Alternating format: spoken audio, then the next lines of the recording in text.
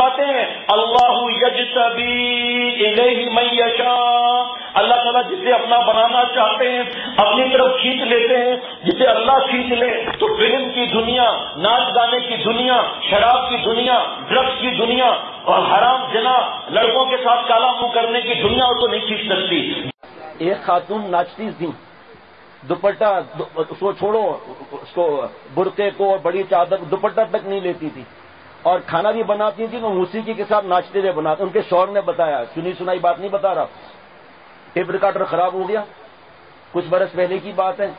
تو انہوں نے بنانے کے لیے دیا ٹیپ ریکارڈر ہے سن لے دوست، جب ایام بھلے آتے ہیں، گھات ملنے کی وہ آپ ہی بتلاتے اتنی ماڈرن اتنی ماڈرن جس کی کوئی حد نہیں۔ اب بتاؤ، موسیقی کے بغیر جس کو چین نہ ملے، وہ کتنی ماڈرن ہوگی؟ تو ٹیپ ریکارڈر بن کر آیا۔ وہ کیسٹ تو لگی ہوئی ٹیپ ریکارڈر جب گیا تو کیسٹ لگی ہوئی تھی۔ واپس آیا تو ریوائنڈ پورا کر کے بٹن دبا کر کھانا بنانے لگی۔ تو چار پانچ منٹ گزر گئے کہا، یہ کیا آواز کیوں نہیں آ رہی گانے کی؟ قریب آئی کہ یہ تو کسی مرد کی آواز آ رہی ہے۔ قریب آئی تو آواز آ رہی تھی کہ بہت آزما لیا شیطان و نفس کو۔ بس سیدھا سیدھا سچی توبہ کرو اور دیکھو پھر کیا اللہ مزہ دیتے ہیں۔ تو خاتون کے شوہر نے بتایا کہ بیوی کے دل میں آواز یہ سب مولویوں کی باتیں ہیں کہ دیکھو کیا مزہ آتا ہے۔ اچانک وہ آواز گونجی۔ کہ مولویوں کی باتیں نہیں ہیں؟ جی کیسٹ میں، یہ مولویوں کی باتیں نہیں ہیں۔ دریا سے پہلے کیا پتا دریا کا مزہ کیا دریا میں چھلانگ لگاؤ تو دیکھو کیا ملتا ہے۔ مولوی کی بات نہیں ہے، توبہ کرو، پھر دیکھو مزہ کیا آتا ہے۔ اب جناب، یہ کھڑے کھڑے رو رہی ہے دل سے کچرا نکل رہا ہے، اللہ کا نور آ رہا ہے۔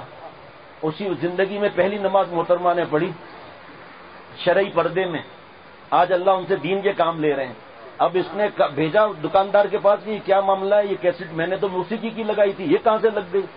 اب ان کو کیا معلوم کہ شیخ العرب الجم عارف اللہ مجدد دورہ، حضرت مولانا شاہکی محمد اکبر صاحب رحمۃ اللہ علیہ پر اللہ نے کیا فضل فرمایا؟ حضرت کی کیسٹ تھی، وہ دکاندار حضرت سے تعلق رکھتا تھا، تو اس نے وہ کیسٹ نکال کر یہ کیسٹ ڈال دی اس میں۔